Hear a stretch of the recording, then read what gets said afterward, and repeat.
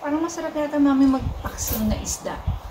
Hindi kunin mo na yung mga talong na natitira doon sa labas. Maliit pa yung mga yun eh. Yun na, masarap eh. O, lumabas ka na, kuhanin mo na yung mga talong. Harvest Para tayo. magluto ka na. Harvest tayo? Samahan mo ako. Samahan mo si mami. Let's go.